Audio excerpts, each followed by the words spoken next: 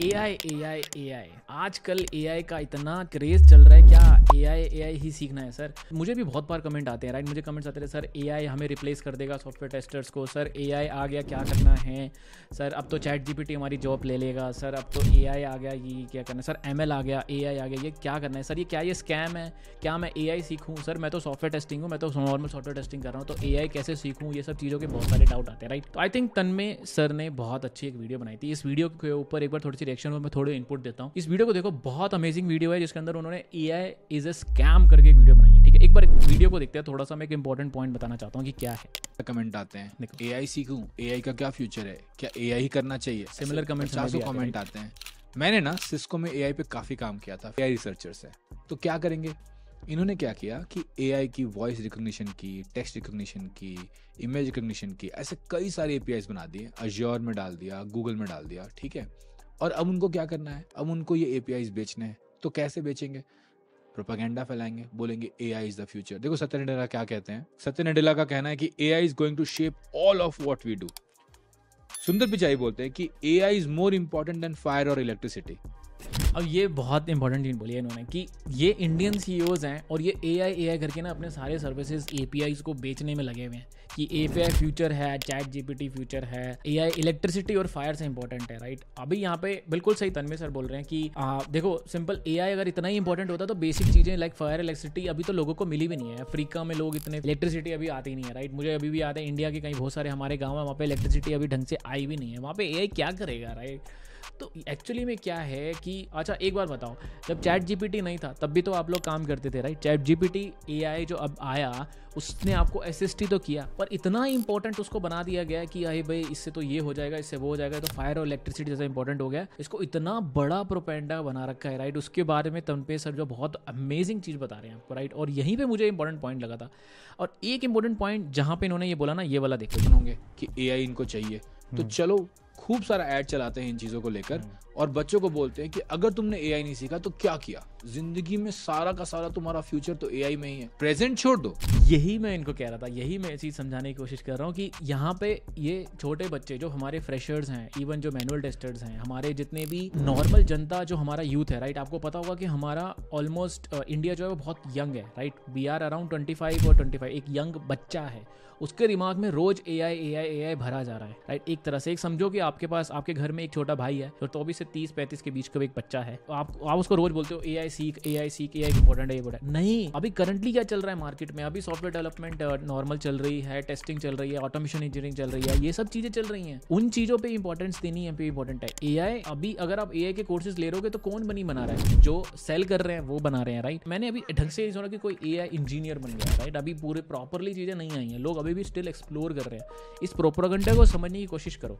देखो। Future AI में ही है। तो तुम आज से बीस साल आगे की पढ़ाई कर लो। और लगे ये मार्केटर्स क्या करने? तीन महीने छह महीने का कोर्स करने। मैं तुमको एक साधारण सा एक्सपेरिमेंट देता हूँ ठीक है? इस एक्सपेरिमेंट को करके देखो।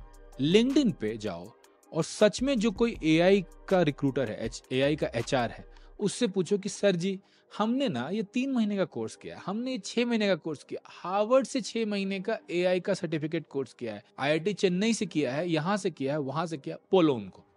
जाकर उनको बोलो। कि हमने यहाँ वहाँ के सर्टिफिकेट्स निकाले हैं, क्या आप हमको इंटरव्यू भी दोगे? वो बोलेगा, जाओ यहाँ से।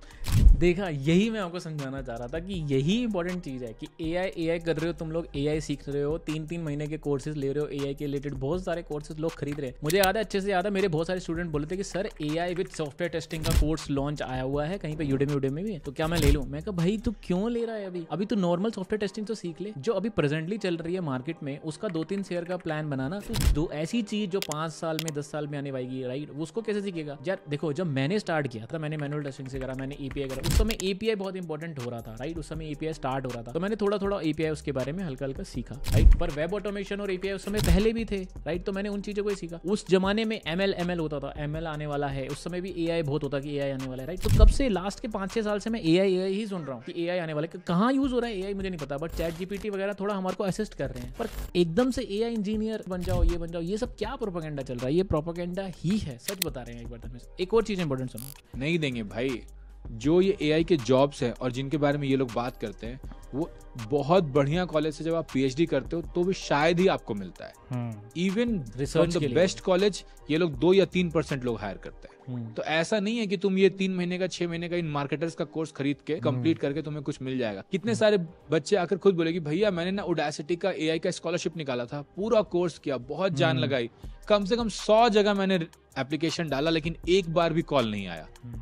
ये है सच्चाई इन कोर्सेज की। प्रिंसिपल लेवल रिसर्चेस जो होते हैं वो थोड़े डीप होते हैं उनसे पूछो कि मैं ये तीन महीने का कोर्स करूँ तो क्या आप ये बिल्कुल हंड्रेड परसेंट बोल रहे हैं। बहुत सच बताया इन्होंने ये चीज़ के बारे में, ठीक है? तो मैं वही मैं आपको समझाने की कोशिश भी कर रहा हूँ कि ए आई ए आई ए आई ये स्कैम चल रहा है अभी। जिन्होंने, आप सर्विसेज़ बनाई है माइक्रोसॉफ्ट गूगल जो कि सत्य नडेला जो सुंदर पिचाई सी सर हैं जो, उन्होंने, उनको ए पी आई बेचने, उन्होंने सर्विस बेचनी है तो आपके दिमाग में वो ए आई घुसा के बैठे हैं राइट जो, जिनको अपने कोर्सेज बेचने हैं, वो आपके दिमाग में ए आई घुसाने के चक्कर में है राइट आपको कोई प्रॉपर एच आर रिक्रूटर नहीं मिलेगा प्रॉपर जॉब नहीं मिलेगी ए आई से रिलेटेड अभी तक तो कोई भी मार्केट में अच्छे से नहीं है, ठीक है? रिसर्च की जॉब जितनी भी है, वो सब पी एच डी के लोग कर रहे हैं, वो भी दो तीन परसेंट है जो सर बता रहे हैं। ठीक है? यही मैं आपको बताने की कोशिश कर रहा था। समझे आप? अच्छे से समझे। तो ए आई ए आई इतना मत करो। करंट स्किल्स जो चल रहे हैं, अगर ऑटोमेशन से रिलेटेड सीखने तो प्रॉपर रोड मैप करके उसको प्रॉपर सीखो। करंट स्किल्स पे ध्यान दो। 2030 2025 क्यों इतना बड़ा प्लान कर रहे हो भाई? उस समय कुछ और मार्केट में आ जाए, कुछ और, कुछ तुम्हें पता है? और एक और पॉइंट में बताना आपको चाह रहा था। देखो, ये वाला पॉइंट और फिर भी कॉलेजेस कर रहे हैं। तुम बोलो, क्यों कर रहे हैं? कॉलेजेस तो भैया नॉन प्रॉफिट होते हैं। कॉलेजेस नॉन प्रॉफिट होते हैं, लेकिन इंसान तो फॉर प्रॉफिट होता है। जो चला रहा है, उसको रेवेन्यू का शेयर मिलता है तो वो इनको ग्रांट्स के थ्रू यूज़ करता है। और ग्रांट्स के थ्रू आप पैसे यहाँ वहाँ बहा सकते हैं, आपको कोई नहीं पूछता। आप ज़्यादा पेपर पब्लिश करोगे, ज़्यादा पीएचडीज बनाओगे, ज़्यादा रैंकिंग बढ़ाओगे। बस टाइम पास करोगे, जिससे देश का और तुम्हारा कोई भला नहीं होने वाला। एक सेकंड के लिए रुको और मुझे कमेंट में ये ज़रूर से बताओ कि क्या तुमने भी कोई एआई कोर्स करने का सोचा है या किया है? और चौथा कल्प्रिट जो सबसे ज़्यादा बड़ा कल्प्रिट है, वो है आलस। तुम्हारा आलस। यार, मैंने कितनी बार ये चीज़ कही है तो कि तुम ऐसा कैसे सोच सकते हो कि तीन महीने में, छह महीने में तुम कुछ करके इतना बड़ा इतना बड़ा हाथ मार लोगे? ये शॉर्टकट क्यों चाहिए तुमको अपने लाइफ में? यही तो लेजीनेस यही की तो मैं बार बार बात करता हूँ। छोटे मोटे कोर्सेज करने के बाद आपको प्रैक्टिस करनी पड़ती है। पाँच महीने, तीन महीने लगातार प्रैक्टिस करनी पड़ती है। कोडिंग की प्रैक्टिस मैं आज तक करता हूँ राइट तो यही चीज़ों पर ध्यान देना है ठीक है? तो आई थिंक आपको वीडियो अच्छी लगी मेरे को बहुत सारे दोस्तों ने और स्टूडेंट्स ने बोला था कि, सर, इस पर रिव्यू बनाओ। मैं लिंक भी डाल दूँगा नीचे। आप सजेस्ट करूँगा कि आप इसको देखो अच्छे से। कोर क्रक्स मैंने बता दिया पॉइंट्स का, ठीक है? तो प्लीज़ ये ए आई स्कैम है प्रोपोगेंडा चल रहा है, इस पर अभी इतना ज़्यादा ध्यान मत दो। ट्राई आउट करो चीज़ों को असिस्ट के लिए यूज़ करो। मिलता हूँ अगली वीडियो के अंदर। अगर अच्छी लगी वीडियो लाइक और सब्सक्राइब कर दो और ऑटोमेशन का बैच नया स्टार्ट हो। चुका है मिलते हैं अगली वीडियो के अंदर। बाय